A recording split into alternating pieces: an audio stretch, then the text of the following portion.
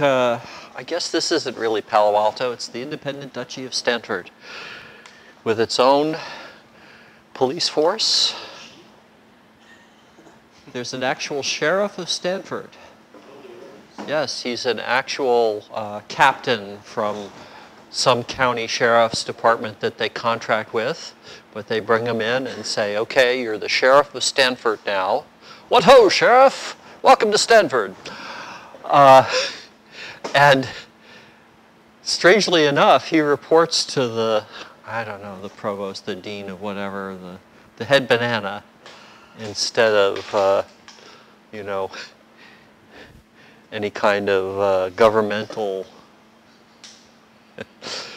Stanford University, a wholly owned subsidiary of, no, wait, uh, I digress. All right, so that was my introduction. Uh, Ting?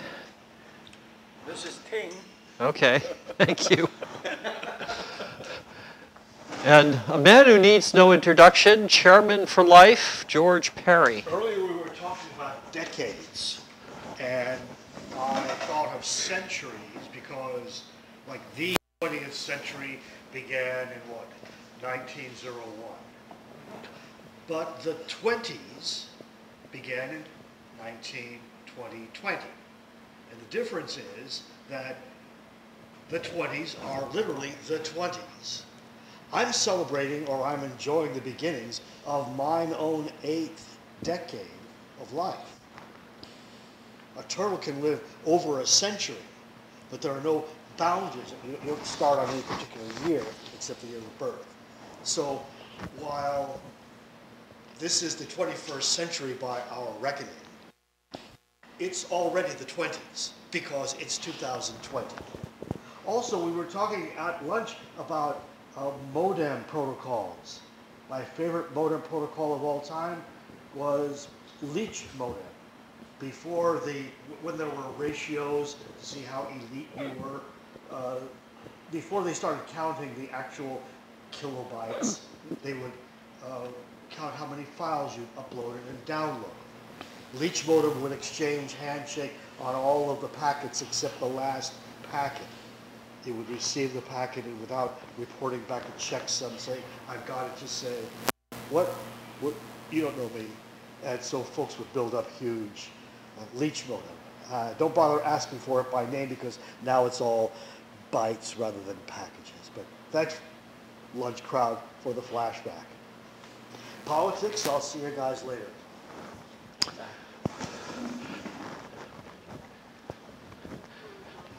You see this snazzy shirt I'm wearing. The person largely responsible for this edition of the SVFig t-shirt, our esteemed uh, videographer and web uh, stream meister and t-shirt guy.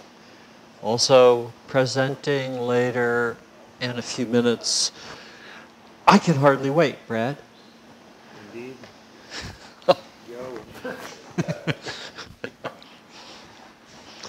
Sam also presenting later today. Sam Falvo, person behind the Kestrel 3 and other sundry things. All right.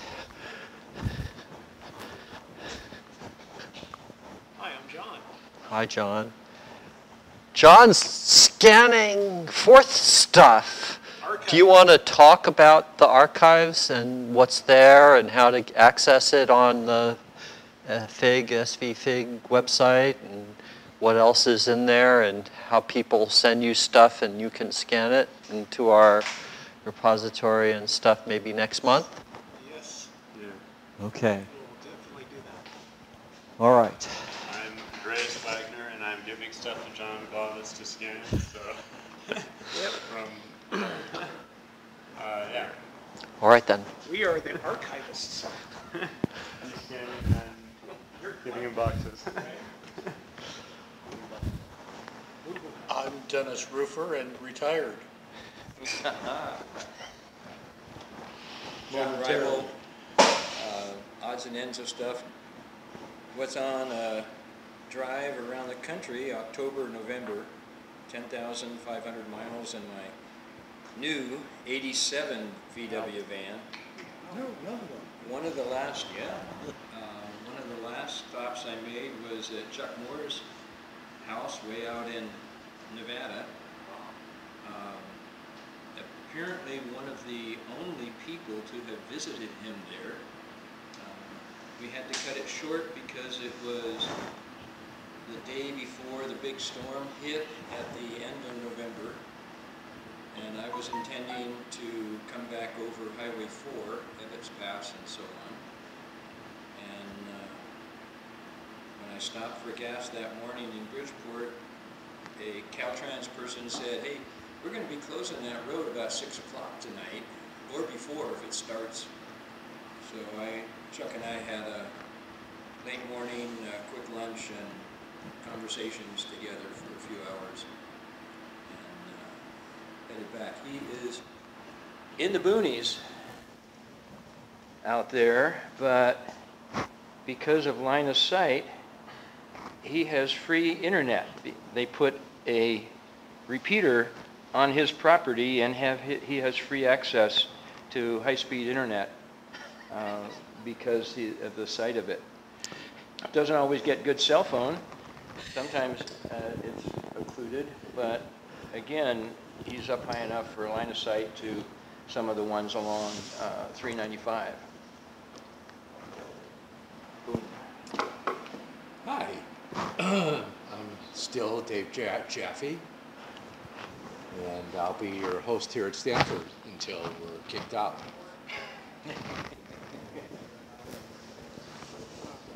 I'm Miles Williams, uh, just visiting. Thank you for coming, Miles. I wanted to mention one of the joys of Windows 10.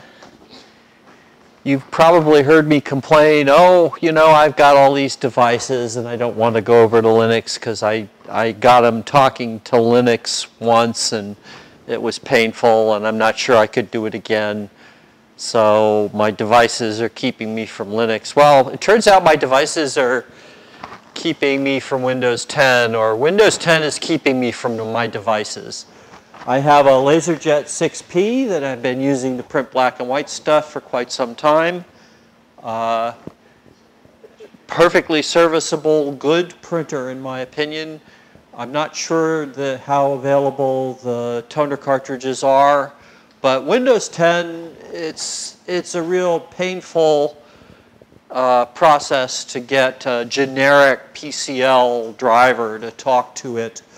Uh, I learned how to do it mostly and then said, it's too much trouble and I don't want to be doing it on my other Windows 10 computers and the computers that I'm going to be converting from Windows 7.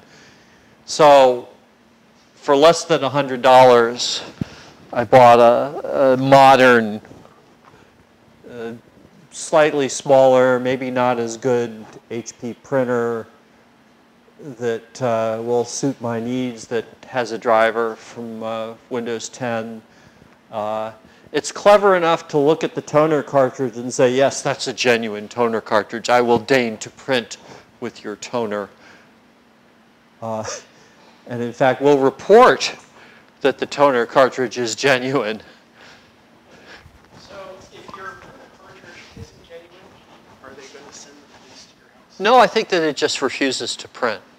I, I don't know. I don't want to try it. I will buy genuine toner cartridges.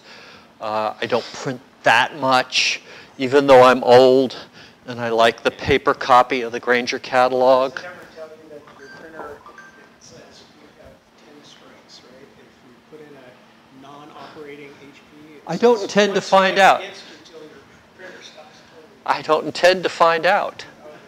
You know, there was one company that actually licensed their toner cartridge. They didn't sell you a toner cartridge, they licensed it to you so that uh, basically they could, under the Digital Millennium Crapola Act, they could uh, sue you for, uh, or if you were a, a toner cartridge refiller, they could sue you for reverse engineering their toner cartridge in an unwarranted or undesirable fashion.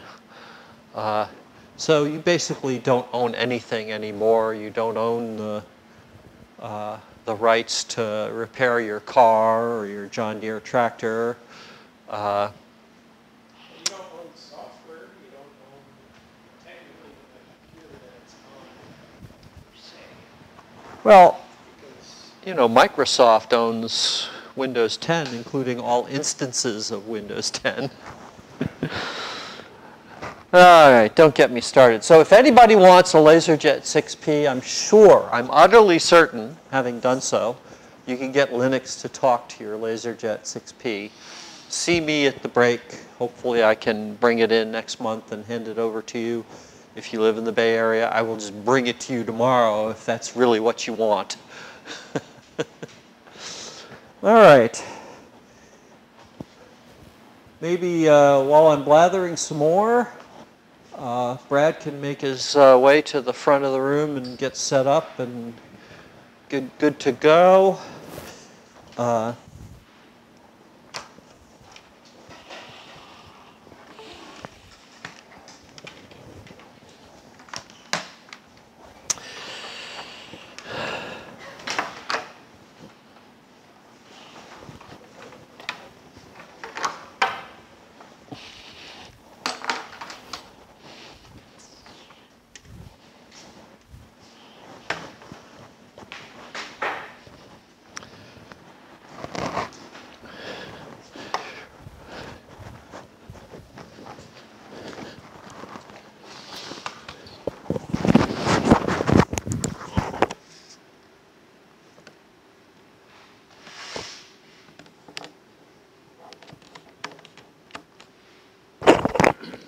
How many of you don't subscribe to the email list?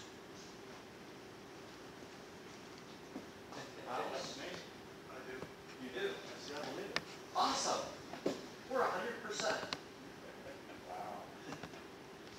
This group, No, no, a hundred percent are either compliant with the mailing list participation or disinclined to report their non-compliance. or somewhere in between. Either way, either way, I'm on board.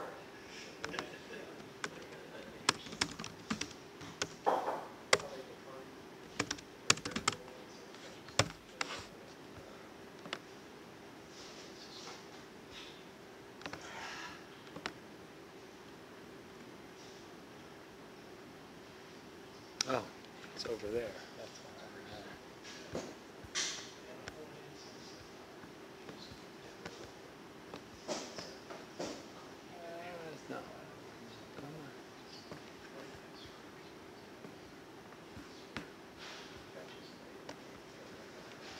Alrighty.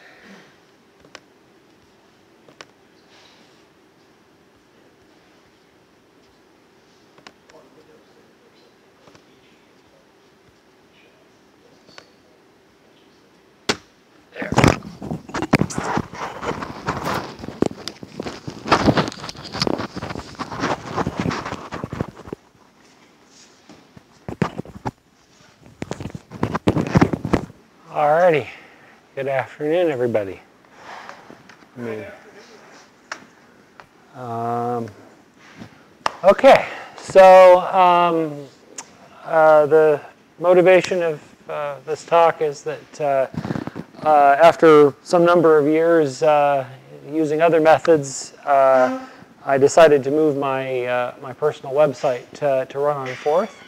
Um, in that migration, I wanted to uh, keep the existing content uh, and uh, to also add some dynamic content to convince myself that I could do that. Um, what I used to do was I had it on App Engine um, and uh, had a bunch of static content, so I was largely not taking advantage of the capabilities of App Engine. Um, and uh, it consisted of a bunch of Python scripts and templates and uh, it had a bunch of features uh, that I sort of didn't didn't actually use. I, I, set up a bunch of stuff under the notion that I was going to write a bunch and then didn't actually write, as, as often happens. Uh, and so it had facilities for topics and categories. So I thought it was a chance to reduce some of the complexity. So one of the reasons I decided to move it was, uh, was App Engine, which uh, is getting, getting on in years now at Google's long-standing uh, scalable web solution. Um, it, it, is, uh, it is still cool in the sense that it uh, allows you to uh, put up content and sort of not have to think about it in terms of running as a service. it has runtimes for a variety of languages and then if you design your app according to the uh, sort of dictates of, uh, of their APIs, it will, uh, it will nominally scale. Uh, and uh, it has the virtue that if, you're, um, if you actually do uh, sort of use it outside of the, the, the, lines of its expected pattern of usage, um, you will actually pretty rapidly fall over. So you, you kind of know you're not going to, it, it's not going to scale well before it doesn't scale. But the flip side of that is that you actually put a lot of bother into uh, getting something that will scale even if you're, you have a low traffic website. Um, the uh, primary reason I had stuff there was uh, because it, it was free and it was sort of, in my, in my, head it was always like, well if I was going to you know, put a dead hand switch somewhere, like this would be the thing because it had been the same way for years. You could put something up, it would just keep running. And it continues to. Um, the, uh, uh, you, you have a configuration file in app.yaml that sort of describes the layout of stuff. Um, uh, and it, uh, in, in, a form, continues to be free. However, something changed recently which uh, kind of nudged me uh, away from it for, for personal projects. I'm sure it would be a lovely solution if you were trying to scale and cared about that dimension of it. And I still have Forth Haiku up on it for that, partially for that reason and partially because I don't baby steps, maybe. um, but the thing that changed is that up until uh, uh, recent versions, uh, when you had Python code and I believe also Node.js, uh, I'm not, I don't, rec- I, am not sure with Go and Java actually off the top of my head. Um, what it would do is that you would you could upload to it and uh, you would upload source code and uh, the act of doing that upload was sort of sufficient to put to deploy uh, to it. Um, but starting in recent versions of the runtime, which they have now sort of turned the knob such that you, for new pushes, you have to deploy uh, to those new versions, uh, you, you now need to do a compilation step. And uh, for reasons I'm un, un, unsure of, that compilation step cannot be done on your local system. You need to compile in the cloud. Um, and so uh, that then in turn turns into something where, well, in theory, you can operate uh, and leave something running uh, with no billing and whatnot associated with it. If you want to be able to compile in the cloud, then you need to pull out the credit card, have an account associated with it. And so the ability to continuously update something requires a, a presence. So I thought, well, if I'm going to do that, at that point, I might as well look at the other options uh, available because uh, once you have taken out that credit card for, for a Google Cloud account, a bunch of other things open up. Uh, and there are a number of free or, or semi-free tiers to it. So um, the old solution was a bunch of uh, Python templates that uh, were sort of all the GARP that I wanted to put on each page. And uh, sorry, did you have a question?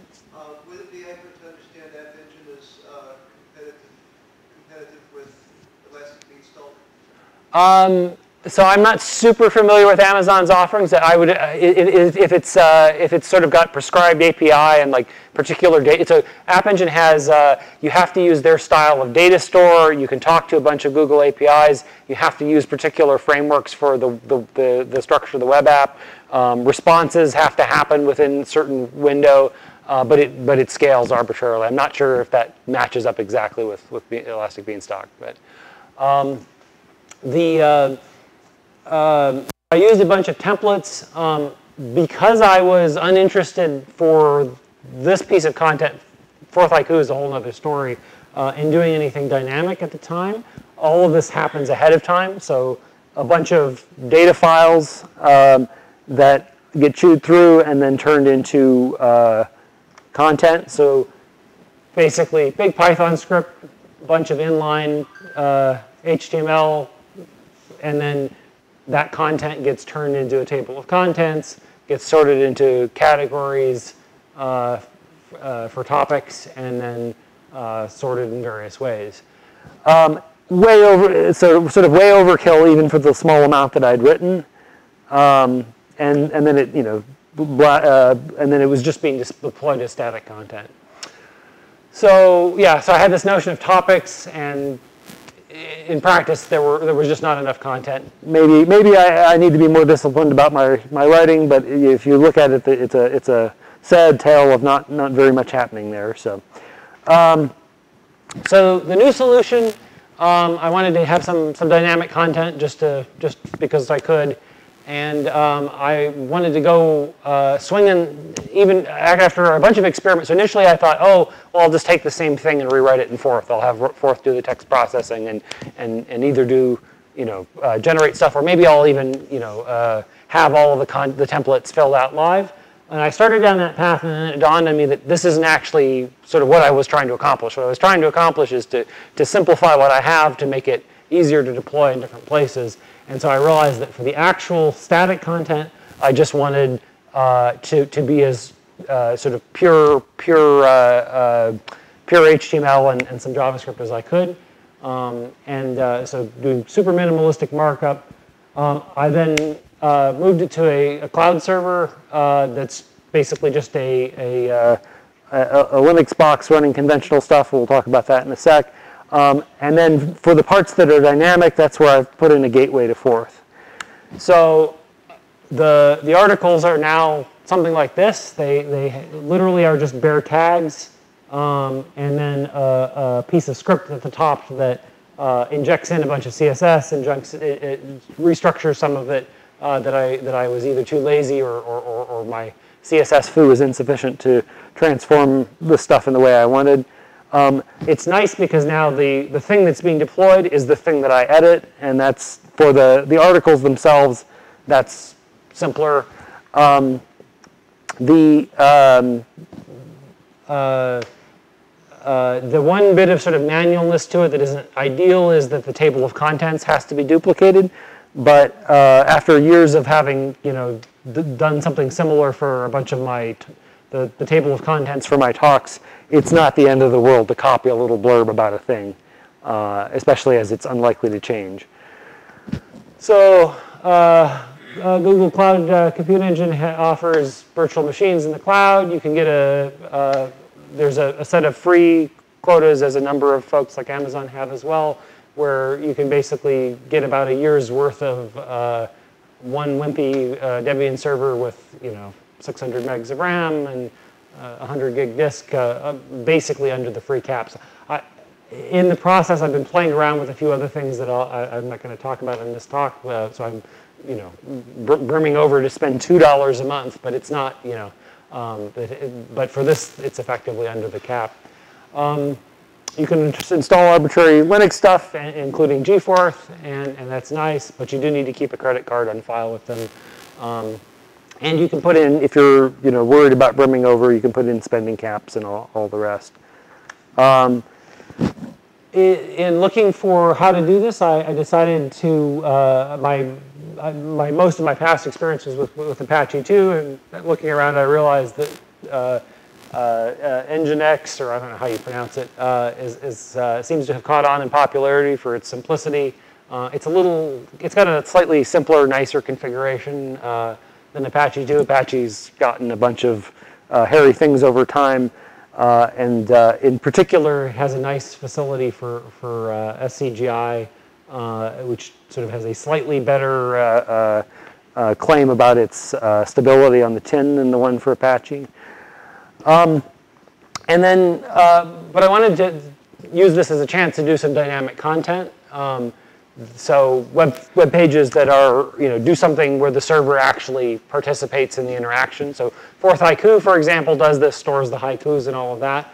Um, but up until this point, the, my personal web website didn't have uh, anything of that sort. So you can do, you know, simple things like a web counter or, or something complex like a web app. Um, what I've got at the moment, you'll, we'll see in a moment, but um, so how to plug it in. Um, there's the old standby CGI. Um, the uh, couple downsides to CGI, uh, not least of which that you've got to, you know, so CGI works as a, um, uh, each request comes in and uh, a script gets fired up per request. Um, and uh, you can certainly, you know, deal with this in, in Forth. The, the parameters that come in from the request uh, go into a bunch of environment variables. So you get an HTTP request looks something like this and, you know, has the, the method and the request and the, the, the protocol version and, and then a bunch of fields. And uh, this gets parsed by the, the web server. Oops, that's what a reply looks like. But CGI you know, gives all this to you in, in the environment. Um, the major downside is, of course, one process per, per request. Um, the, um, and then you're, you're obliged to reply. Um, there are a bunch of um, alternatives to this. Um, one that's very popular is FastCGI. Um, and I considered this for a little bit. Uh, it lets you have the web server uh, act as a gateway to uh, another server, and then you, uh, you communicate with that server over a pipe or a domain socket. Um, and it has support for a lot of things, and so uh, you can, it, it, can sort of mix uh, whether it's spinning up, uh, dealing with one or multiple uh, connections to the to the, uh, the, whatever daemon you want to run. Um, but because of that complexity, it, it's uh, it's a complex. Because of that flexibility, it's it's a fairly complex protocol in the scheme of things. Um, another alternative, uh, the, and the one that I ended up going with, is a, a thing called uh, SCGI, or for Simple Common Gateway Interface. Um, it's nice because the spec is 100 lines. That's a, that's a good selling point. Um, and it's a very straightforward format. Basically, it has uh, a basically a size count comes in, and then it lists a series of uh, all the parameters that you would get with CGI with nulls between them. And so you can read this in basically in one chunk, uh, and uh, it's sort of trivial to parse because you're just walking down looking for nulls. Um, it has a drawback in relation to FastCGI, which is that uh, you're, uh, it's opening up a, section, a, separate connection per, uh, per request, but you can have a persistent server sitting there responding to it. Um, so it looks, oh yeah, the request looks something like this, right? You get a, a size count literally as, a, as an ASCII set of integers, a colon, and then you get a series of, uh, you know, uh, variable null, value, null, so and so on. Um, and then at the very end, you get the uh, at the very end you get the uh, the body of the request, if there is one. Uh, and then you just reply uh, essentially with the um, with the uh, with the same kind of reply that you would give if you were the web server yourself. Um, and then you close the connection when you're done. So uh, Another option is uh, a proxy. So um, you could, uh, you know, it, HTTP is a fairly simple protocol. Um, one of the reasons, by the way, for using any of these proxies is that um, I, I um, want to have um, a uh, uh an HTTPS website uh, with a with a, with a certificate. Um, and I certainly don't want to implement that from scratch. Uh, SSL is a non-trivial protocol. Um, but another option is that you could have the, the main web server proxy traffic. Um, HTTP is a little more complex than, than SCGI, and from what I could, uh, what I could tell, uh, the guarantees for SCGI are a little stronger in terms of how sanitized the request is coming through. A proxy, in a lot of cases, just passes content straight through. One of the general problems with all of this stuff is if you're going to have something sitting on the internet these days, you want to be cautious about what it is and how vulnerable it is, especially if it's written in a low-level language. Um, the other nice thing is, uh, especially as I wanted to, to do some, some uh, somewhat interesting things with the uh, connections, um, so SCGI opens a separate connection per request um, and then hangs up. Uh, where where uh, the HTTP protocol itself is able to uh, keep the channel open and send multiple requests. And so uh, with uh, Nginx sitting in between, you can have it uh, deal with keeping the connection open and managing multiple requests coming over the same connection. Um, and, and then it transforms each of those into a, a request to the um, uh, to your to your separate server. Um, that's nice because then you get the benefit of, uh, of keeping the connection open, and because all of this is transiting just the, the local system, uh, the overhead is not too bad. In fact, there are actually some folks that have benchmarked it versus uh, FastCGI, and there's, depending on who you talk to, it sounds as if there, there are claims that the simplicity of uh, SCGI sort of, and the simplicity of the implementations ends up uh, making the, uh, winning out in terms of overall efficiency, even though you would think having more, more ability to multiplex would be better.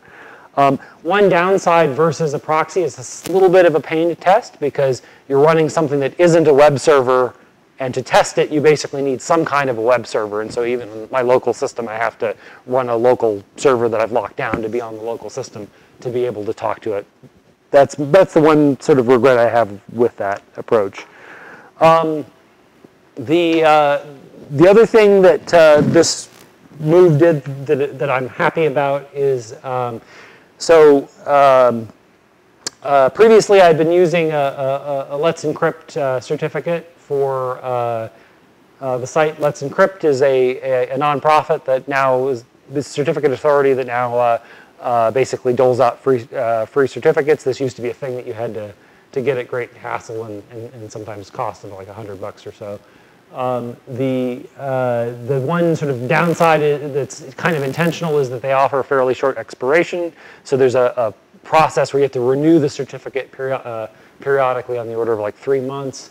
Um, the, uh, the nice thing about moving away from App Engine is that the integration with Let's Encrypt is, uh, is done by a, a, program called CertBot. Uh, well, actually, that's one of several ways you can do it. Um, with App Engine, it was a little bit tedious because you had to actually um, use CertBot to renew your certificate and then uh, upload this through the through the console. There was not a, a, an easy programmatic way to update the certificate uh, if it was deployed to App Engine. Um, with uh, with uh, Nginx, uh, there's really great integration. You basically run this once, and then it can it will basically in the background manage that, the renewal of that certificate and, and does all the all the right things. Um, so super, super easy. And I, I'd actually, it, I would say that with App Engine, it was taking me on the order of like, you know, maybe like five, ten minutes to, to go through the whole process of renewal. And even though I had written down each step, it was a it was sort of a tedious thing to do because it's like, okay, do this step, get the certificate, confirm that it didn't, uh, that it, and each, oh, and I should say, each time you have to um, prove that you control the website by putting up a, an authentication file on the site. So the act of renewing the certificate involved deploying something to the website, which is a big hassle. Um, and that's their, that's the reason they do that is that they, they're offering these free certificates. They're trying to get folks to, to, to use HTTPS. That's the underlying goal is that there's a big push in the web community to get all the traffic encrypted. Um, but the, the flip side of that is that they want to have a simple way to verify that you're the proper holder of the certificate, and the easiest thing to do is to have you deploy something and, and confirm this. And there's a bunch of other protocols that can be used under the covers to do this, but effectively what they're doing is putting something on the website to demonstrate you have control of it so that then they're confident that they can give you a signed certificate. Um, so very much easier. All right. But uh, still the problem remains uh, talking to POSIX because uh, now I've got the problem, I've decomposed the problem, I've got my static content, and then I need to have my, uh, for all the dynamic content, I need to have my Forth daemon running um, and talking to the world. Um, gforth has uh, a, a nice facility in it uh, for, for talking to the outside world. It has some drawbacks, um, and we'll talk about that in a bit. Um, but essentially what it does is it on the fly compiles uh, little uh, dynamic linked stubs. Uh, and, and so it literally goes out and uh, if you do slash C, put some C code, it dumps this into a, a file, goes out and compiles this, and then you can uh, build little, little stub bridges uh, to that code. Um, the, the good thing is it's fairly general and, and you always have the option to sort of bail out. And if something is too complex to deal with uh, in terms of forth and a structure, you can write a little bit of C code to glue uh, between the two. And uh, when we look at the code, I've done that in a few places. Um, one interesting thing I came across, and I, I actually just literally last night was in correspondence with the, the Gforth authors. Um, uh, uh, as it turns out, the version of Gforth, um, if you go and look at the GNU website, you know, you'll see 0.73, and that's the one that's deployed in all the package managers. Turns out it's not the latest. There, is, there are newer versions, um, although uh, uh, I clarified uh, with uh, um, uh, Anton and folks that uh, they, they consider that the, the, last sort of stable release. Um, 0.79, uh, there's actually a number of random little bugs that have actually been sorted out in, that, are in 7.3, which are kind of annoying around the interface. There's some warnings and things that, that come out. The other fascinating thing is there is this uh facility called ABI code that, uh, that a paper went out quite a while back on that's present baked into 7, 7.9. But um, basically what it lets you do, uh, which is kind of cool, uh, is that they, they come up, so that the issue backing up a bit, Gforth being portable um, has the, the substantial disadvantage that depending on what your compiler does, um, you don't actually know what registers are going to be used for what things in the in the, uh, the Forth code. So for any one build, you can look and see, oh, it looks like it's basically keeping the top of the stack in this register, but you know, different compiler, different version, different phases of the moon, you get something different. Um, so it makes it uh, extremely uh, uh, tedious to actually in practice do code words um, if you wanted to say call syscall directly or something of that sort. The clever idea is to have um, a sort of a single uh, uh, type declaration for uh, how you would call into forth um, from into the into a forth implemented in C. Um, where you pass in the stack pointer, pass in a pointer to the to the uh, uh, floating point star. Sorry, stat, pass in the, the the top of the the, uh, the stack pointer itself versus passing in a pointer to the stack pointer for the floating point stack. Um, and then by uh, on the vast majority of uh, the architectures that are out there, um, what this means is that you will uh, you will actually then know what registers you're going to get because C has a well-prescribed uh, ABI um, on each of the different uh, for each of the different uh, OSs, and so you'll uh, you'll you'll know exactly which register this is, and this one in particular on both um, x86-64 on ARM and then on uh, x86-32 ends up being one that gets uh, disposed of the point being that you can, you do have to do a little bit of a dance to pull something over into the return value. But if you're not using floating point, you can essentially leave it alone, which is nice. So, you, so for, for integer words, everything sort of gracefully goes through. Um, and then you have to sort of carefully arrange to, uh, for that. So that's another option. Um, uh, after some fiddling around with this and then deciding that I didn't want to be on a version of Gforth that isn't sort of wild, widely out there, I, I kind of went into my old standby and uh, use those external words. One downside to this sort of thing, uh, it compiles on the fly, um, and it will compile by default at each time you start the application, which isn't great for startup performance. Um, what you can do is have a declaration around it, labeling them with a, a name, and then it will compile once and store it cached under that name in the home directory. The downside is if you've got a daemon, that means you have to give the daemon a home directory. Um, and, uh, and, and then you have to be careful that if you change anything that you've, uh, that you've brought in that way, you need to bump the name of that, uh, that layer. And so I have a, uh, as you'll see later, I have a, a POSIX, uh, bunch POSIX uh, functions imported, and then a number just counting up each time I fiddle with it. Um, and that way I can keep a cached copy of it so that the start time is fast. Although a long-running server, it probably doesn't actually matter. Um, number of sort of sidetracks uh, along this process. One thing I, I, I, learned along the way that I had never encountered before, I thought I'd share this, might, might be an interest to this audience. Um, I, um, thinking about the, the API surface that I was interacting with, I got to thinking, you know, this is kind of weird, the chronology of like how various POSIX APIs work. And one thing I came across that I found fascinating is that early Unix got by without things like select. Um, and uh, without the ability to do non-blocking I.O. And a lot of how this worked is that you would just, if you needed to do something that required concurrency, you would fork and you would potentially wake yourself back up synchronously across the pipe. Um, and so the, the idea would be um, if you've got a, uh, even if you've got multi-directional uh, communication, you, you can come up with these wonderful little patterns of sort of waking yourself up and unblocking yourself up, which is, which is kind of fascinating.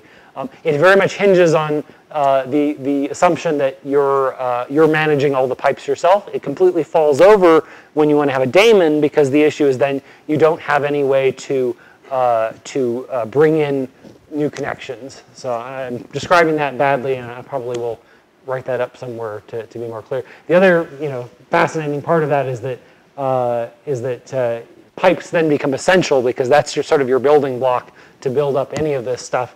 And so having the guarantee that you can write and read from the pipes uh, and send a whole message atomically becomes very important to, to do this sort of thing. But quickly, people discovered, you know, it, it's even uh, even uh, you know even with copy on write, you've got all kinds of challenges in terms of performance there. Um, yes. Sounds like a good topic for your dynamically generated blog. Yes, it does. Indeed. Um, because I had that, so all that is to say that was why why processes were on my mind. And so when I when I came time to uh, come up with this SCGI server, I thought to myself, you know, I'll do this with processes this time instead of threads, as I would have ordinarily done.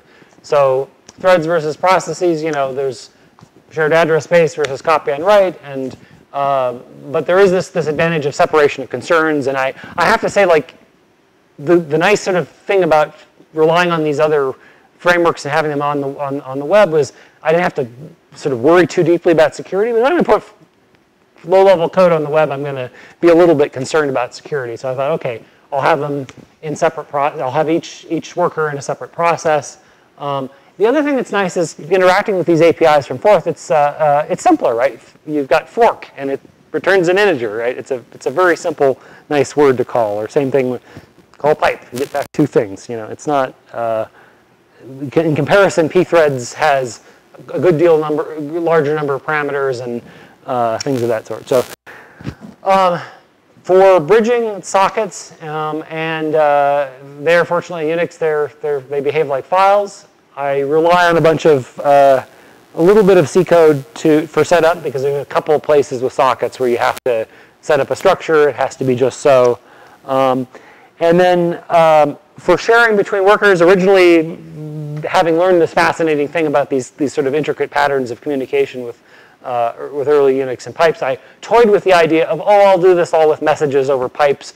Um, I eventually uh, got lazy and dissuaded myself, myself of this shared memory is just delightful. And so I, I, I in particular for uh, the particular kind of little toy dynamic things that I decided to end up doing, it was simpler to just have a block of shared memory uh, and to use uh, uh, semaphores to, to communicate and wake things up. Um, I came up with this, a very simple pattern for this. Basically, most of the content, what I had in mind, as you'll see in a moment, was things that are on the website visible to all users where they're all interacting with some shared state. So if one user changes something, I want all the other users to be able to see it. So in a number of cases, it's useful to await anything changing and then wake up and wake everybody up. So sort of think a mutex wrapped condition variable where your only operation is you just wake everyone up. Um, and but you can do that on top of a semaphore with a little bit of care. Uh, actually, a couple of semaphores, unfortunately. Um, this lets you do some fun things, like you can just have a clock pulse where you just periodically wake things up. Um, and uh, oh, wait, one one thing, by the way, this is this is another sort of little pattern that came up as I was doing this, and I. Um, I, I, for whatever reason, I feel like this is the first time I've had a long-running piece of Forth code I don't know, I'm shocked that this is the case this far in, but um, I, so I ran into a few situations where I had stuff running for, for a while, uh, and then I, I uh, had Stack Overflow and didn't realize it. And so I, you know, it's like, oh gosh, I've never, you know, and so making sure that you didn't actually accidentally leave something on the stack became important. So I found I found that this was an awfully handy pattern of like you know grounded everywhere.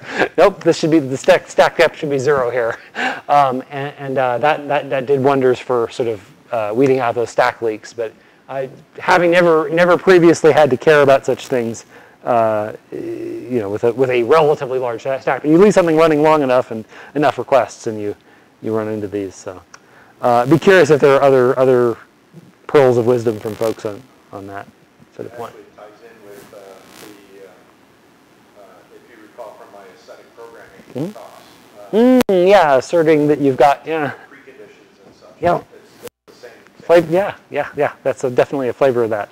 Yeah, I see that. Um, so the other thing, by the way, that I wanted to, and one of the reasons I had the synchronization pattern with the awake and, and, and await uh, stuff is that I wanted to, for one of the, the, the things that I put, put together, um, and I have aspirations for more, as you'll, you'll see in a minute, but um, uh, so there's this thing called uh, HTTP long polling. So what I wanted to be able to do is have multiple people go to the website, be able to see something, interact with it, and have something happen on multiple machines.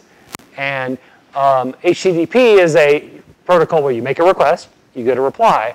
So how do you, how do you make something happen uh, like that? What you do um, is you you get the request, mm, then you hold on to it for a while. You say, well, I'm not going to actually answer you yet because the TCP connection will stay alive, and I'll wait until there's some relevant event. And this is a, uh, a way to, to have a fairly fast uh, dissemination of something. So you have a bunch of clients that all say, okay, tell me the state now. Great.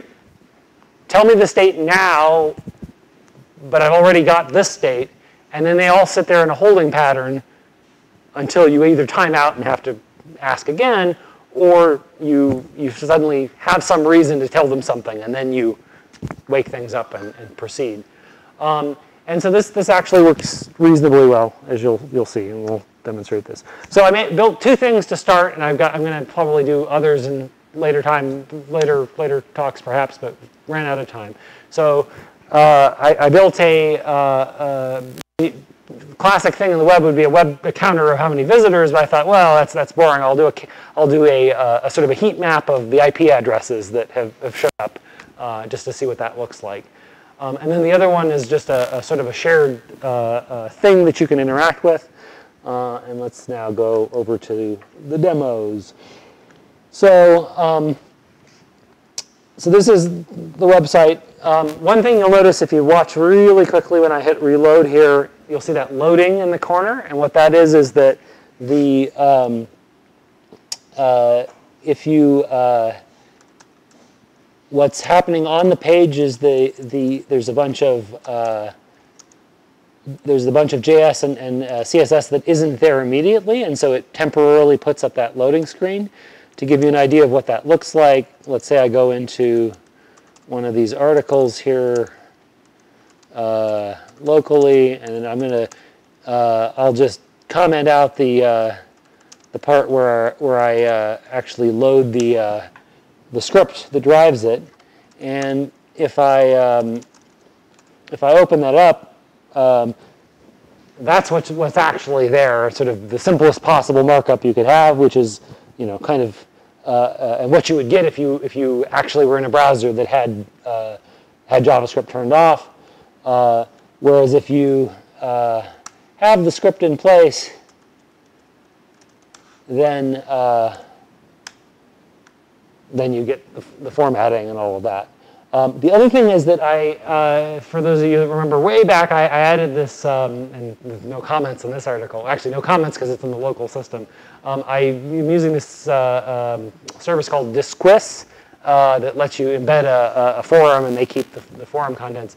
I have to say the act of moving this over and actually paying attention to the load times of these pages has made me wonder a little bit whether I really want to keep these on here. There's fairly, unlike the haikus where there's a little bit of discussion going on with some of them, um, for the, perhaps my articles are dull, um, but uh, the, uh, there's very little discussion in here, and then watching how many tracking cookies come down from this service, um, and not just tracking cookies, but like some amount of like crazy other stuff uh, monitoring the page. I'm beginning to think that I'm, I'm uh, this is not maybe a thing I want to have on my website. Still figuring that out, but uh, um, I preserved it as is for now just because I wanted to confirm that I could. Um, so that's that. So um, so anyways, the um, the articles are you know the handful of articles are still here. um, and, and their various uh, content. But the thing, the new thing that I've added is uh, this heat map. And uh, so each, each visitor uh, the, that uh, shows up here um, adds a, a, a, dot. The, the, uh, the x-axis is the, uh, the first, uh, there's 256 pixels across, and so it's the first, uh, uh, first octet of the, uh, the IP address, and then the second octet, and then there's a little line there just so I can, you can pick them out on a, on a dark background. Um, I'll be fascinated to see how this accumulates over time. Once upon a time, uh, the first two digits, especially of IP addresses, were nominally associated with geography and, and whatnot. Um, although now, now it's been chopped up and, and uh, sold around uh, quite a bit. Um, so we'll see. I, I, I briefly toyed with thinking about ways to maybe hash it and look for um, uh, incorporate all four digits, but I decided, nah, it'd be more interesting to just see the first two and, and see where it goes. But that means that, for instance, if folks in this room access it, probably we look like a single, a single uh, dot on that, on that map. So, um, so that's the thing one. Um, thing number two uh, is uh, has some shared state, and this tag, yes, yeah, somebody tapped the page. There you go. exactly. And so uh, everybody who taps on the page moves around the one shared object, and it should be, in theory, instantaneous. So folks go to flagxor.com, they should be able to uh, move it around, and you should be able to, you know, simultaneously. Oh wait, you can see the screen up there already, but yeah. So I'm assuming Sam is pecking away at it, and no, over there.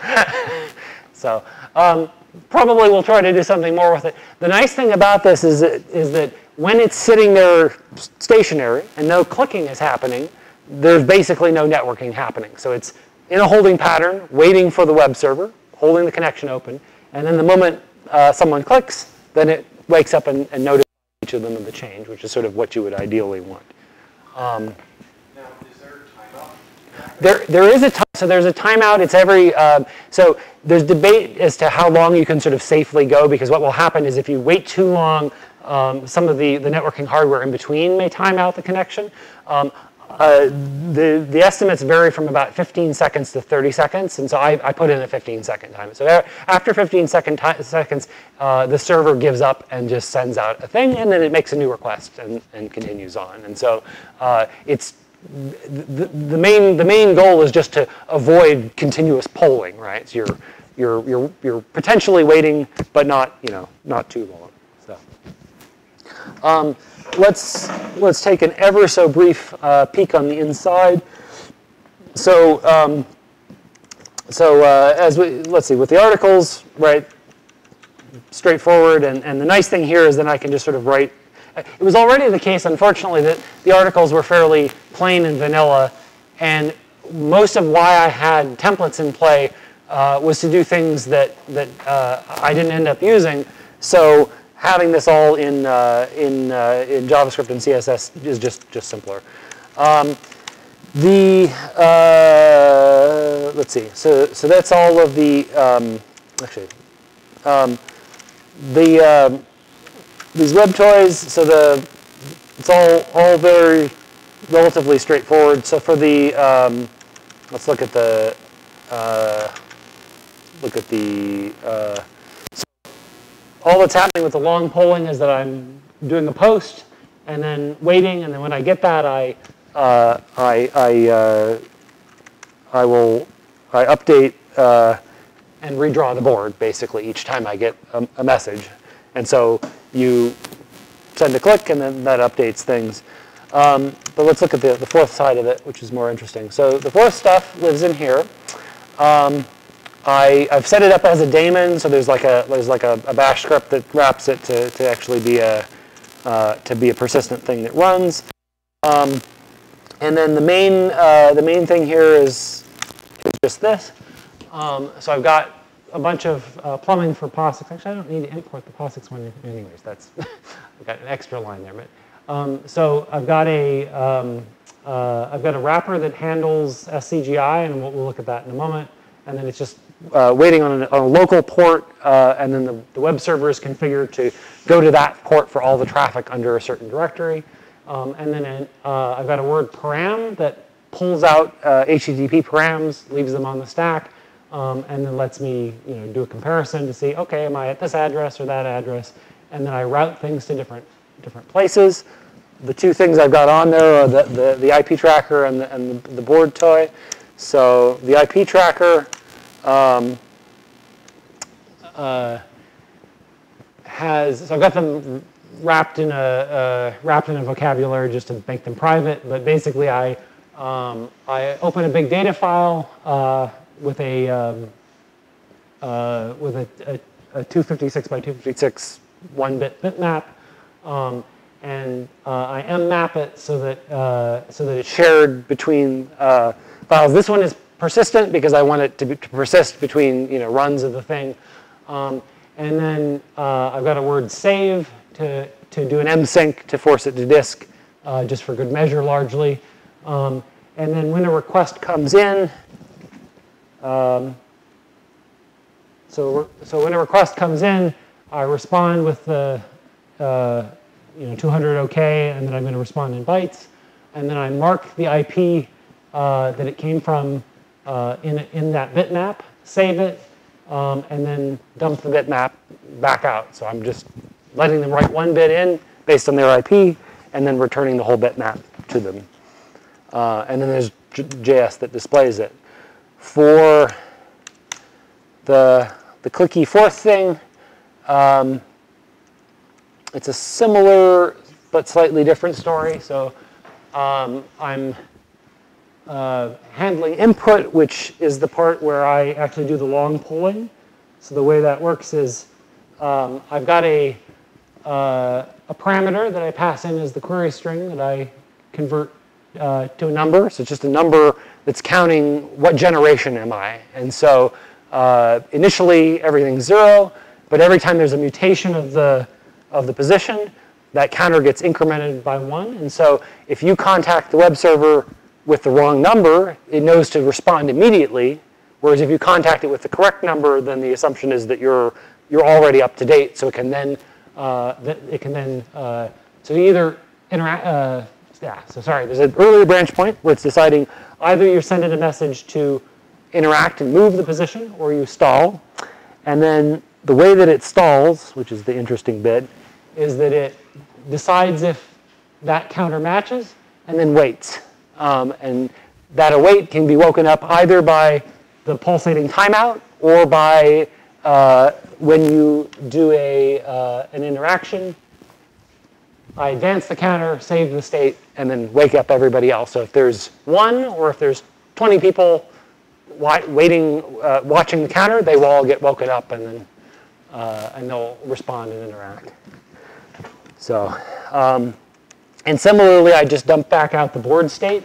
Um, originally, when I put this together, I had imagined actually having a bunch of little objects to interact with, and I just, yeah, I didn't didn't have time. I'll probably add more to it where there'll be a little more more things to click around. But for the moment, it's one thing. Uh, but right now, it's actually sending, you know, a, a bunch of different state variables back and forth. Um, let's look inside here. So the um, uh, the um, await and awake are a little bit interesting. So what I ended up uh, what I ended up doing is uh, having a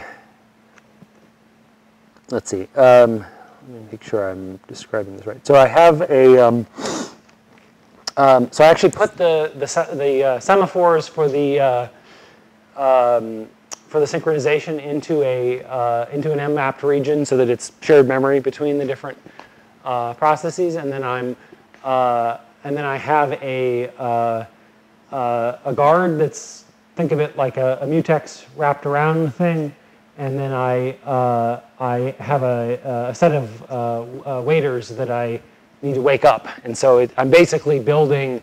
Um, building a, uh, a queue of folks that are sitting there waiting uh, to be woken, uh, and then with, uh, and then locking that queue, locking the, the whole thing, releasing them all, and then release and then releasing the, the wrapper to it, um, and then um, let's see.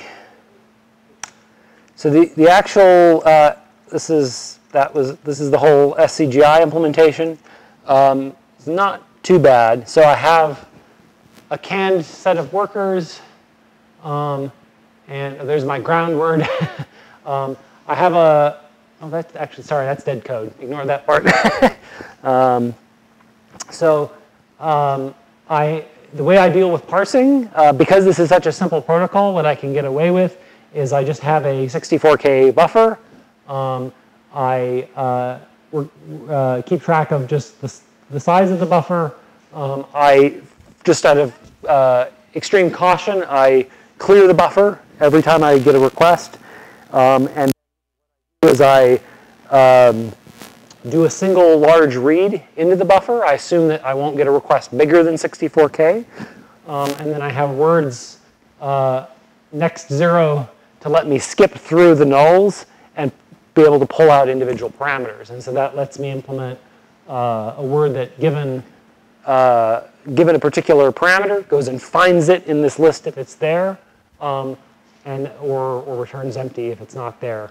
Uh, and then that lets me pull out individual HTTP parameters. Uh, that could probably be more efficient. I have some words for emitting uh, text. I, uh, I chose R as the prefix for response, so it'll type to, to the response or put a carriage return to the response um, and emit lines there. Um, and then uh, there's some plumbing here to handle multiple requests. And the key, the key thing here is that uh, the um, uh, I have a this run operation where I do some setup and then loop and fork uh, a bunch of workers. And the way fork works, for, for those of you unfamiliar, you call fork and suddenly now your, your process is, you've got a new process, you're either in the new process or the old process. If you're in the old process, you get back the, the process identifier of the process. So it's non-zero, or if you're in the new process, you get a zero. So basically you get, create a child. If you're in the child, it goes and runs this handle all word, and then, uh, and then otherwise it keeps looping and emitting those. And then it sits there uh, in the, uh, uh sorry, it, this is, this is a, a duplication of, uh, or sorry, this is waiting for all of the children to finish. And so if all the children die, then it, then it exits. And so then each child is uh, basically just doing a bind to, or sorry, that's, that's the setup. Each child is just handling one request, so it waits for a request, um, and then handles it. And, uh, and then that routes it to uh, whatever, whatever you passed in. So that, the, from the point of view, this is the interface that folks can use on the outside.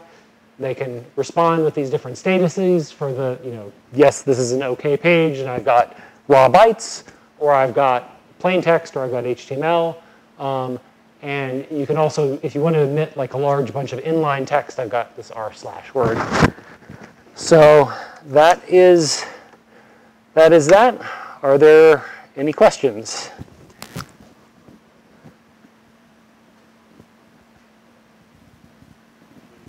Crickets. Yeah. Go to flagxor.com and tap on the fourth thing, and it should everybody in the should see it move as we. or I have bugs. Yes, you can move things on the screen, but only while the screen is up there. Flagxor.com. It should, yeah. yes. Uh huh. Yep. Uh huh.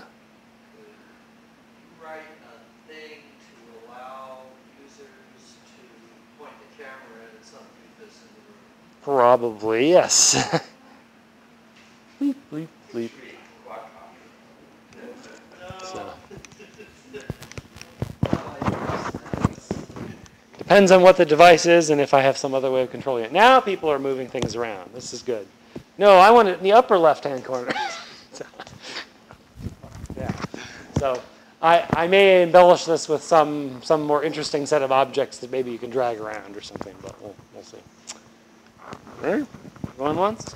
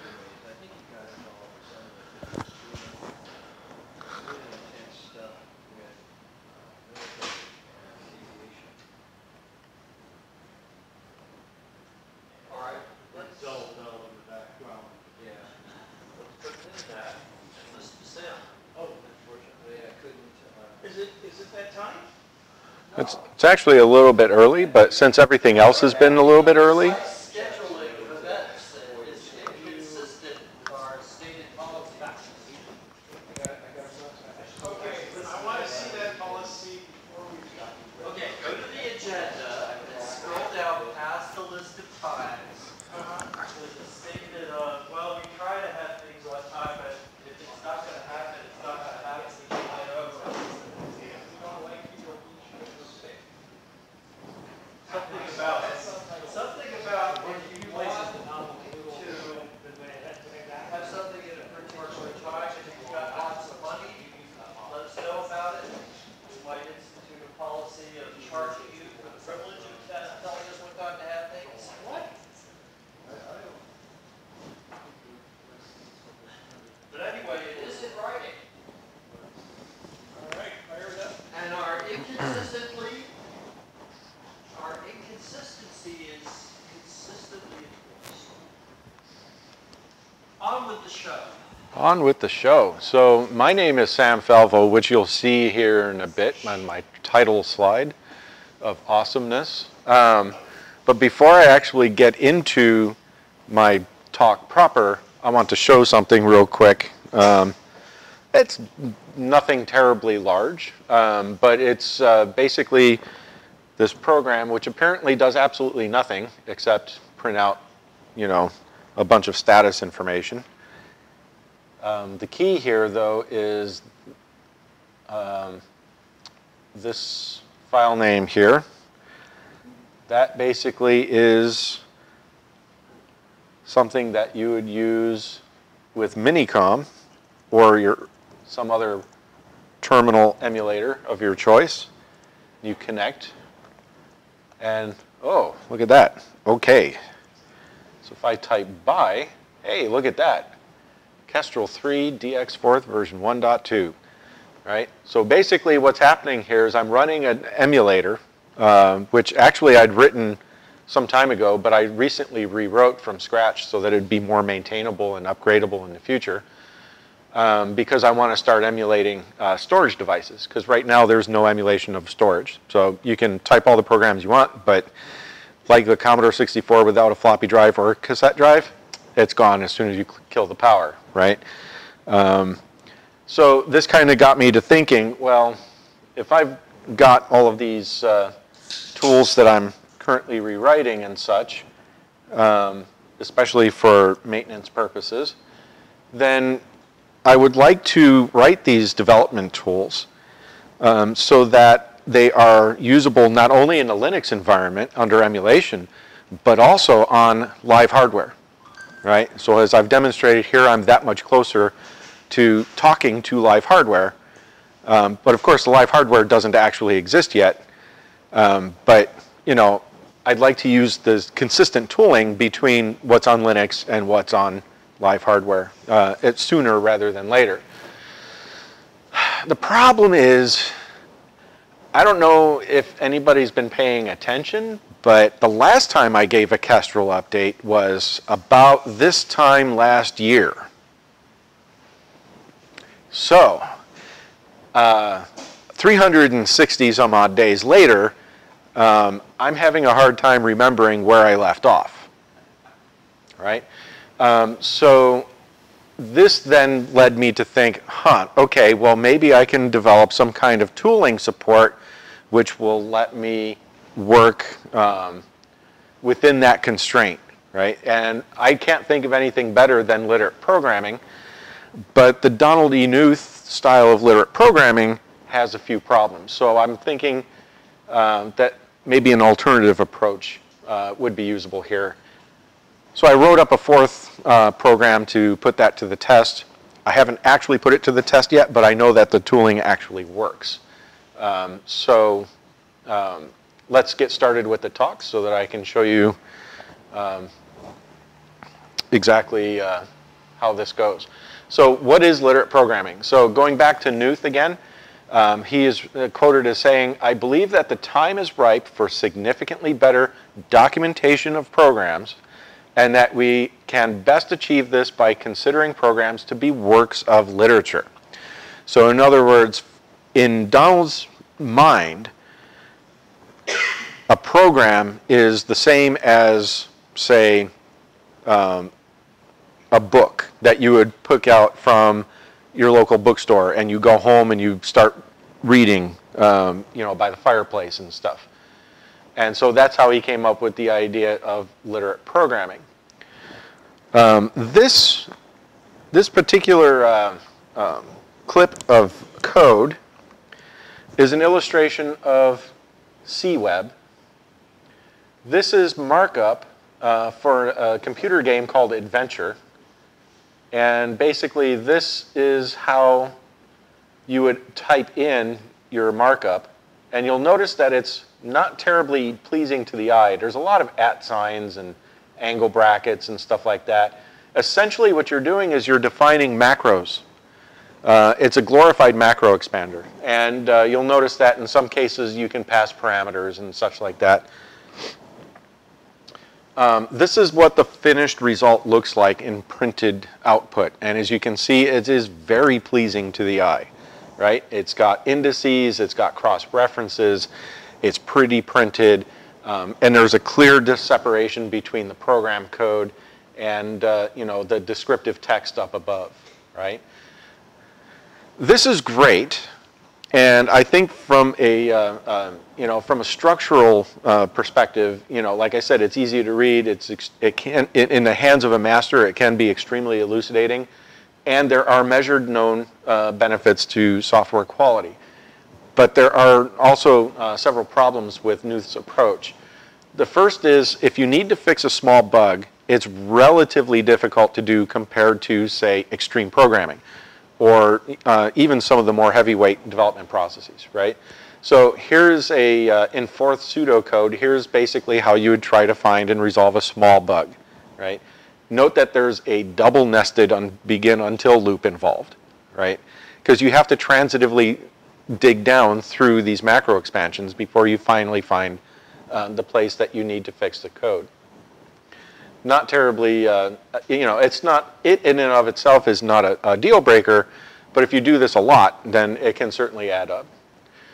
Uh, but what if your problems are bigger? You know, how do you restructure the code, uh, which actually happens, you know, quite frequently, not just when software is immature, but also uh, arguably even even more often when the software is mature. It's like, oh, you know, we spent the last five years sinking all of our investment into this architecture, and now along comes, you know, uh, uh, Windows 10 with a new graphics driver architecture, and you know, lo and behold, our game doesn't work, and now we have to re-architect the game, right? So, so this is something that uh, uh is a very real um, uh, problem that that also affects mature software as well. And, and how would you go about doing that? Now you've got to rewrite all the pros as well as all of the, all of the code that goes into it. Um, I would argue that it is, well, I write hard to communicate, but um, it's slightly clickbaity. I, I, would say harder to communicate. Um, basically, you can't really show evolution of software, right? Going back to that re-architecting issue, how do you go about um, elucidating why you make the decisions that you do. Um, people say all the time, you should always use code comments to explain why, not how. Um, but uh, there are actual cases where, you know what, if I see the, the, the problem in the sense of what was the pain point and then how you solved it, you know, and see the difference before and after, that can be incredibly elucidating and, and really help uh, with understanding the code and, and how to move forward with it. And probably the biggest problem that I have with it is you have to name things, a lot of things. In fact, every hunk has to have a name, uh, except for the root hunk.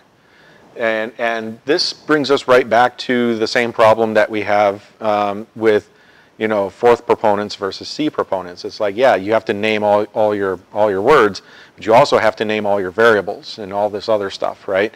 Um, and you have the same problem here one of the, uh, uh, if you go back to, um, if you go back to this, you'll notice that there's a, uh, there's two hunks here. You have simulate an adventure going to quit when finished, which explains exactly what that code is supposed to do, and you understand it in, in a black box, right? That's good. Initialize all tables. Well, what does that mean? In the context of the game, it's basically meaningless. What tables? Doesn't say anything about that. And it's kind of open-ended. I guarantee you, if we were to look and dig through the, this uh, source definition, initialize all tables would probably expand to initialize this table, initialize that table, right? It, you would basically be a stepwise decomposition. Um, so in a sense, what we find here is this is conveying useful meaning right now, but this is really just a placeholder for some useful meaning later on. It's disclosing uh, a detail of the program that really doesn't need to be here. It's just kind of a distraction.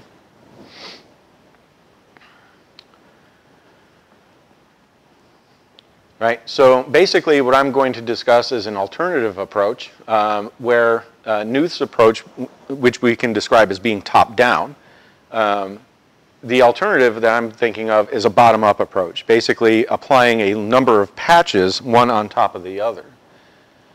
Now, before I continue, um, all of my implementation actually is directly inspired by a person out on the internet, uh, Kartik Agaram. I hope I'm pronouncing the right the name correctly. Um, he has a website here called Basic Layers. Um, I, I, would recommend uh, looking into this website. Um, he has uh, uh, a bunch of links to some documentation that uh, leads up to uh, his, his final implementation of that. Uh, and then, of course, I took it and ran with it in my own direction as well. So I'm actually really quite um, uh, quite taken by this approach. The other reason why I like this approach is um, it leads to fundamentally much smaller uh, literate programming tools and much easier to uh, understand on their own. So let me, using C as an example, um, because um, C has sufficient complexity to help just, uh, justify how this works. We basically start with a simple patch, right? And in this particular case, it's the base patch. And in the top, we basically say, okay, you know, like all programs, we interact with the user by printing to the shell. Okay, or, or, we, you know, continue on with some other description. And then we have a very simple hello world program. That is sufficient. It compiles, it runs on its own. And basically anyone looking to understand how the system works sees that there's not a whole lot of detail and it's easy to understand. Then when we want to communicate the next iteration on this, we come up with the second patch again with a separate description block. That's where that, that comment comes in. But then you'll notice that these, these markup lines here, this after standardIO.h, for example, we say include string.h. And similarly down here, we tell it to find the first line with printf, delete it, and then inject the rest of this code, right? So basically we're saying, okay, well, now that we understand how to do basic printing, now let's take a look and figure out how we do uh, command line processing in this particular example. Obviously, this is all very contrived. And then in the third approach, you might have noticed that we missed over uh, an error handling case. For example, uh, a sharp-eyed person will recognize, well, I'm referencing an array index at i plus 1, um, but I'm not doing any array bound, bounds checking, right? So here I'm introducing that, um, introducing that. And, uh, you know, again, I'm using after here and after here as um, commands, if you will, to the Tangle tool that basically says inject this code into this point here, right? Now, this is, uh, now this, in this particular example and in, with my current tooling, uh, I basically target one output file. But there's no reason why this syntax cannot also support multiple output files. This is true of both the top-down and bottom-up approaches. Uh, I know that CWeb, for example, is, or historically has been only a single output file, um, but NoWeb, for example, has historically supported multiple output files. Um, so, so basically, in both cases, you can do cross-cutting concerns. Um, but the nice thing about this is that you can roll back and roll forward. This is something that I find you cannot do with top-down approaches, right? So basically, I can say, well, let me take a look at the output of just doing one patch or the output of applying one and two patches and so on and so forth, right? So you can see how the basic structure evolves as you introduce new concepts into the program. Sharp-eyed people will probably say, huh, you know, Git, Mercurial, and a whole bunch of other distributed version control systems, or even non-distributed version control systems, they all work basically using a similar process. So what's the difference? Why would I use this in addition to and or instead of uh, a, version control system? Um, I argue that you should never ever develop software without using a version control system. That includes literate programming. Um, but the reason why you, uh, you would want to use the bottom-up literate pro programming approach, uh, in addition to uh, using a VCS, is they operate on different concepts. A VCS is designed to keep track of history and especially minutia, very small changes. Um, whereas the literate programming is designed to introduce entire concepts. What's more is that um, you can actually go back and as you introduce new concepts, you may have to go back to earlier patches and refine them so that they can actually co collaborate uh, with the with the uh, the later patches. Um, so in this particular case, you know, I'm, I'm mentioning two levels of patches here, and I apologize if it's very confusing.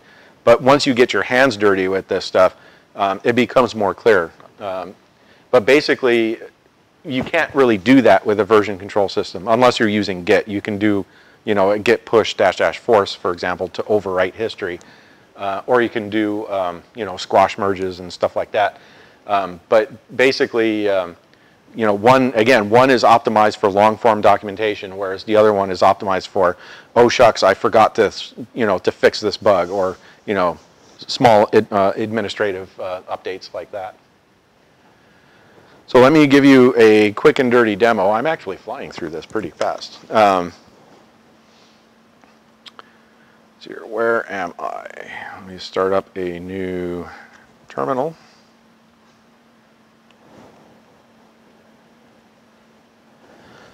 CD.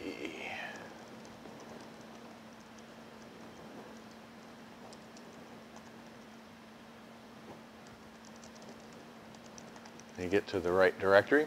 Okay, so you'll notice that I've got um, three files here. I've got basically the three that I, that I mentioned earlier, slightly different, only in detail. So for example, uh, you'll notice that uh, um, it's basically the same as the, uh, the examples that I gave earlier. So what I can do is I can say, I can invoke um, the tangle command. I can give it an output file and I can just give it the one uh, input file. And as you can imagine, it basically is a clone of the input file minus all the markup, right? So if I do a quick uh, GCC out on that, right, it does exactly what you expect it to do. Now, on the other hand, if I um, tell it to work on all of the uh, input files. Suddenly we have an entire C program with all the detail there, right? So if you look up, you know, obviously with this being such a simple C program, it, you know, it's, it's easy to see where the different sections are and what they do. But imagine that this is like a 4,000 line program, right? So you can clearly see how the introduction of all of this detail could obscure the original intent of the software. And yet, um, when you do the compilation, it still works, and it does, right? It's still, and now we can demonstrate that it actually does accept command prompts, and it does error checking right? So basically what we've done is instead of relying so much on macro expansion, we've basically said, let's isolate different concepts and actually stratify them and then inject them into the code as appropriate, possibly even replacing existing code um, that is now obsolete as of that point in time.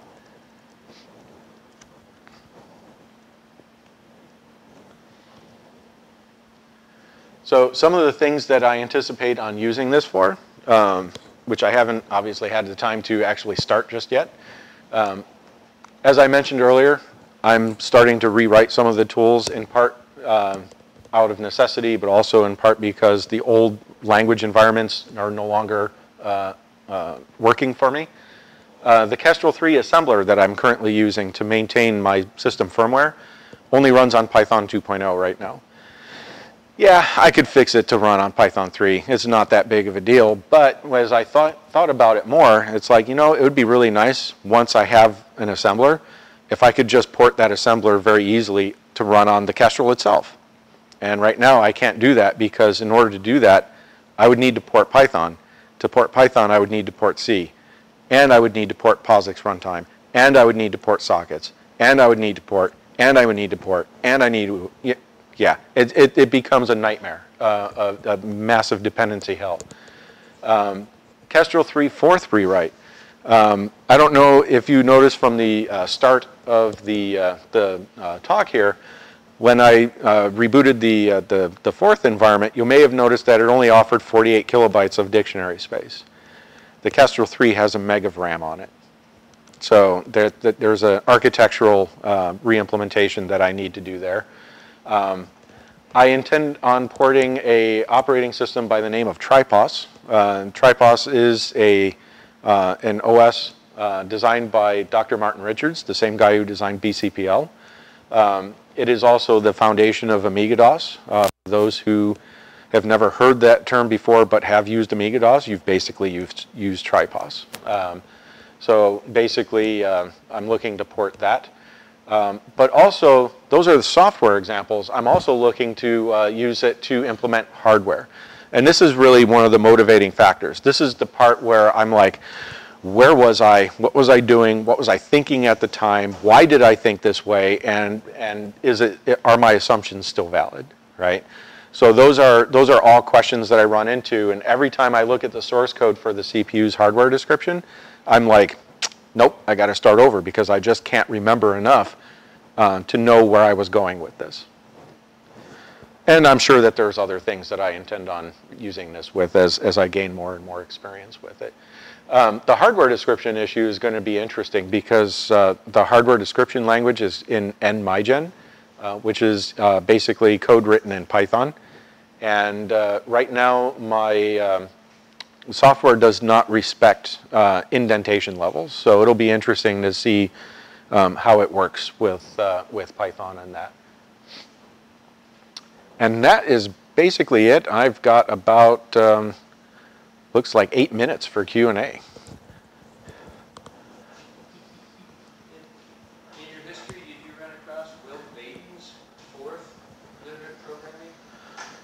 Um, did I run across Wil Baden's literate programming uh, stuff? Um, I know that it exists, um, but I don't have any access or, or I've not seen it in, uh, in person.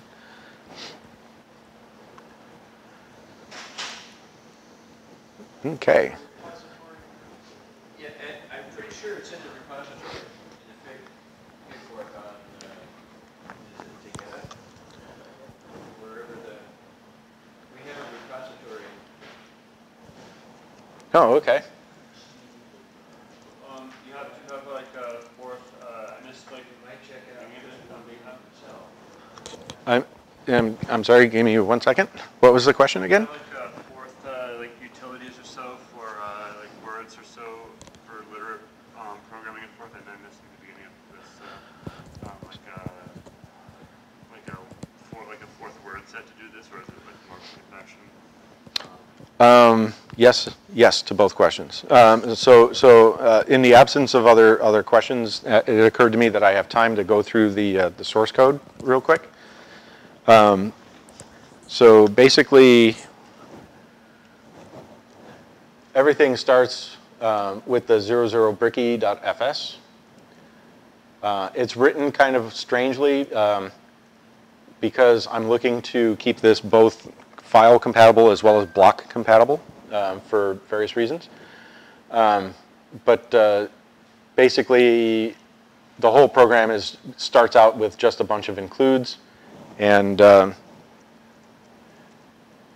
the invocation of that, uh, if you look at the Tangle script, um, basically builds a Gforth script that invokes 00 Bricky. Right, so basically, all the command line uh, argument processing is translated into. Um, so let me uh, comment that out, for example. And I will show you.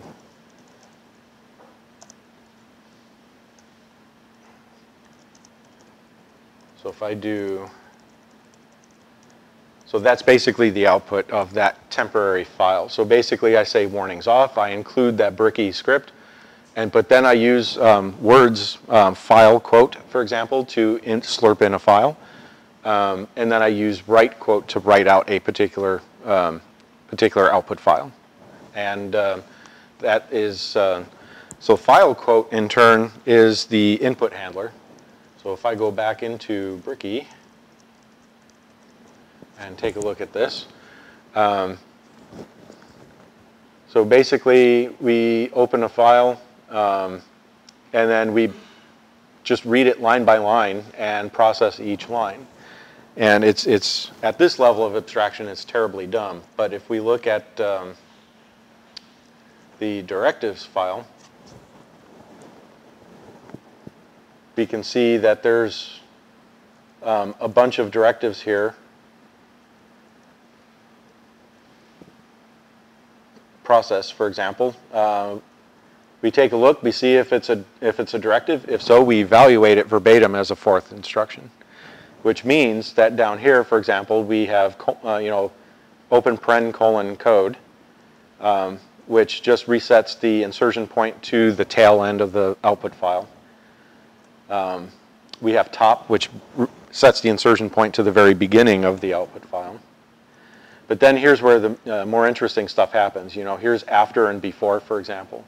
Basically, we take the rest of the uh, uh, input, um, you know, close paren delimited, for example, and uh, we search for it. And the first occurrence that we find in the uh, output file, we set that to be the insertion point or its immediate predecessor, depending on, you know, the proper semantic that we want. Uh, delete does basically the same thing. Um, and what it does is uh, it will delete the, the, the, line that it finds and then sets the insertion point to its immediate predecessor so that anything that comes after that replaces the deleted line.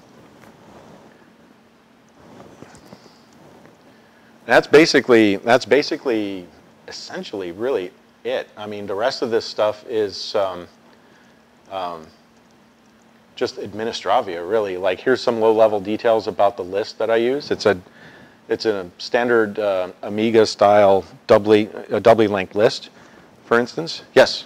Yeah. So uh, it, it, occurs to me that like uh, uh my uh, my own like weakness when um, programming is that I um, typically when I write Forth code, Forth code I often like not always, but it depends on the application. But um, sometimes when I write like Forth code, I write some application, maybe an IRC client, for instance. Um, and then I write it once, and then I scrap it, and then I rewrite it again. Mm-hmm. And uh, I found that like in, when I write Forth code, not so much with other languages, but in Forth, I found that like version control isn't as useful to me. Um, and, and, I think like does that make me a bad person? I don't know, but um, yes. Um, I, I, I see like now that maybe I need, maybe I also need um, literate programming in a way, not just version control. Um, and I'm just thinking about like what's like where's the uh, the continuum between version control and literate programming? I'm not sure. Um, yeah. So so. Uh, I can't I can't live without version control. Um, this this software is all under version control, for example, uh, and there are there are actually several patches uh, against it, right? Um, because you know, as I develop this, it's like, okay, cool, I fixed it. You know, I fixed a bug, blah blah blah. Go to bed, wake up tomorrow, new bug, right? Or new feature request, right? So so now, right? Um, the ability to compare code is is vital. Uh, for example, um, but where, why would you use this versus a version control system? Because originally I actually uh, thought about this. Um, that my first exposure to uh, um, approach to literate programming, that was the first thing that came to my mind. Well, why, why don't I just use Git and, and just write my descriptions in, you know, the, the git commit logs. I mean, it's essentially the same thing, right?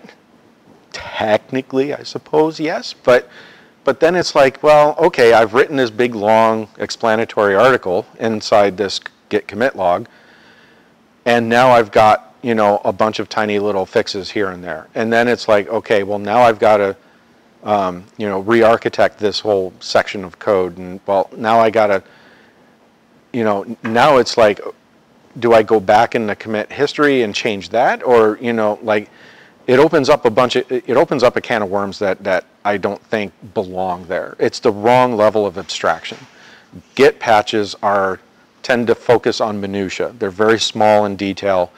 Um, yes, you can get by with doing squash commits and rebases and stuff like that to kind of, and in fact, that's one of the reasons why you know large projects they encourage or even require you to do rebasing and, and squash commits so that you can get rid of all that minutia and just focus your git commit logs and and say this is the salient thing.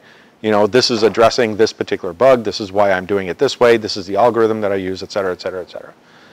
Um, whereas here this allows me to get the benefits of documentation um, in a form well there's that that's one of the things is, is it's in a form that is more humanly readable than a git commit log i don't know about you but reading git commit logs is a pain in the butt. I don't care how well uh, maintained it is. Uh, whether it be on you know bitbucket or github or even the, the out of the box git you know git web uh, interface it's terribly it's just blah right? You it's, it's just not the right tool for that job. Whereas here i can write my comments in markdown. I can write it in html i can write it in latex i could actually pretty print it and i can you know format it however i want. I could conceivably even include bitmap information by you know by linking and stuff like that. Um, whereas with git i can't really do that. There's no tool in, in git that allows me to, to, to uh, recover that information on the other hand, if I use this to record individual things like, you know what, there was, you know, somebody opened trouble ticket this, um, the problem was that, you know, that's the wrong place. You know, the, the documentation for why the code is the way it is, that's the wrong place to store that information. That is where um, the git commit log really comes in handy. And, and like I mentioned before, um, you know, you can actually, you know, if, if I wanted to go back and make a change. Um, so if I go back and I say, you know, I introduce, you know, some new feature here, blah, and the only way that that actually works is if I go into, you know, the introduction, you know, the introduction, and I need an insertion point here or something like that. I could say, um, uh, we'll say end of main or something, you know, something innocuous there. Then I can say, go back into 030 and say, you know, um, after end of main, etc. Do you see what I'm saying? Like I can go back and, and eh, eh, understand that I'm, yes, I'm changing the, the, the, the base layer upon which everything else is built, but I'm not changing history. There's a clear separation between changing history and changing the interface between the, between the layers involved. Does that make sense? in the layers involved. Um, so you have the history, which is um, make a change that clobbers the previous change in the current um, working copy, and you have uh, um, in literate program. Um, so um, as I understand, you have, like with history, you have you make a change, and then you um, clobbers the previous change uh, from the perspective of the current working copy. But then with literate programming, you have uh, you have, uh, in this methodology, you have, uh, you don't, um, I'm, I'm just trying to figure this out, you don't hide the, uh, um, It- We might want to take this offline. yeah, yeah. Because, yeah, because, basically there's two axes that, that we're looking at. We have the git commit history, Yeah. or in this case, fossil commit history. Yeah. And then we have the history, quote unquote, of the layers that are applied in the order that they're applied in. Okay, yeah. And they're, and they're, they, they are orthogonal issues. yeah. Yeah. Yeah. Um, So the, the git commit history is important because it tells you who made what change to what files and when, When. which is important to identify, okay, when was this bug introduced? This doesn't say, the literate thing doesn't say when. It, exactly. when. This is, this has nothing to do with identifying who introduced a bug or, or, you know, what, you know, it's not designed to, uh, to facilitate problem isolation. It is, it is, however, designed to facilitate education of how the program works and why it works the way it does. Okay. And that's, and that's something that, that tools like Git and Fossil are not optimized for. It's not to say that they can't be used for that, but it's just not the right Yeah. communication channel for that. This is, this is like if you have a, um, a large like conceptual change, like that would often result in scrapping it, rewriting the snippet of code. This will help with managing that conceptual change. Exactly. Whereas, I would love to see a, uh, yeah, a little mind map of, of that process. I think that would really bring it home, Like uh, mind map of, like a flow chart, you know, of the modules and the flow of, you know, changing one thing, object, and then how that, you would update X and then, you know, all- how it commit to Y. And that way, all the different layers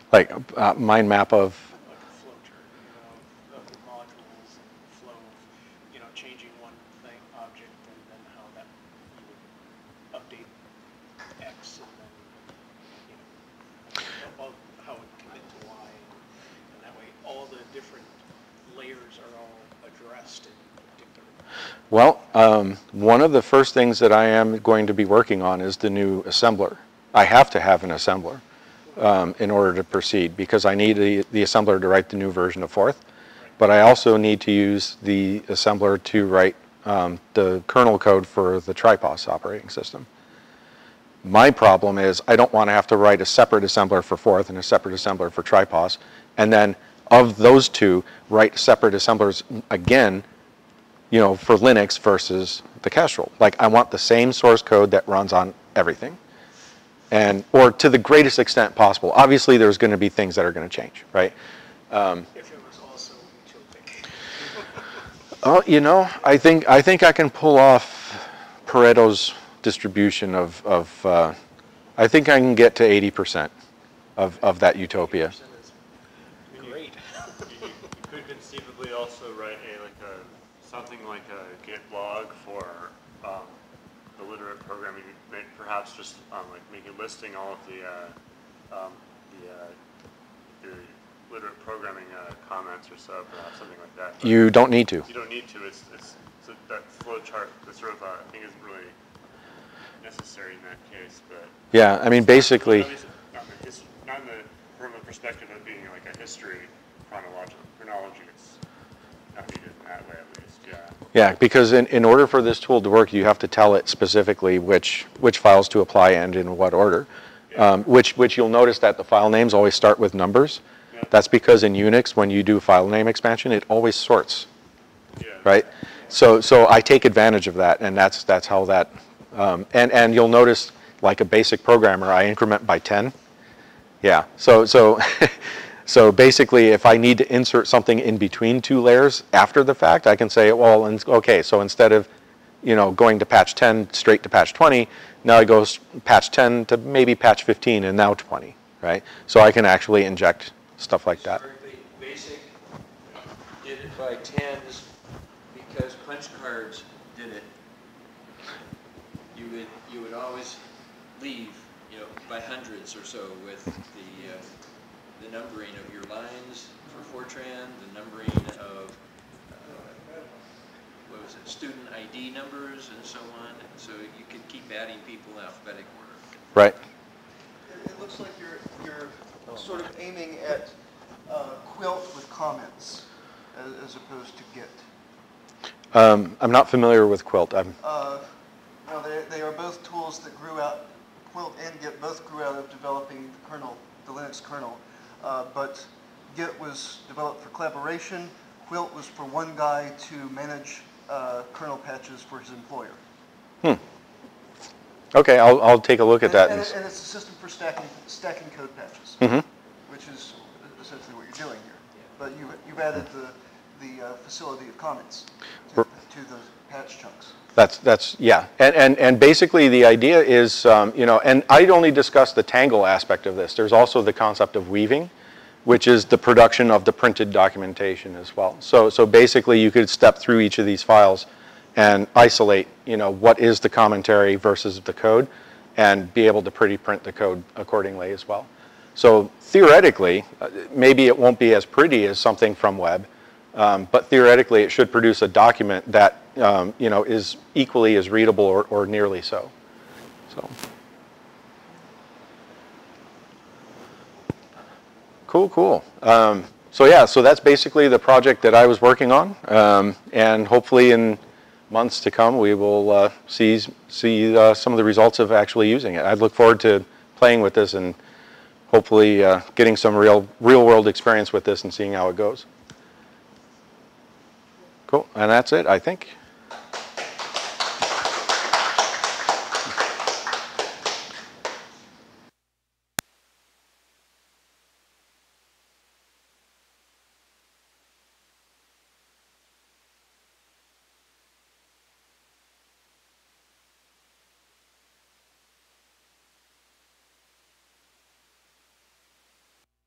Okay.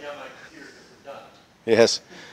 So it looks like we're done for the day, so uh, we're going to uh, pack it in, and thanks everyone for watching the stream, and uh, um, hope you enjoyed. Looking forward to seeing you again uh, in the months to come. Adieu.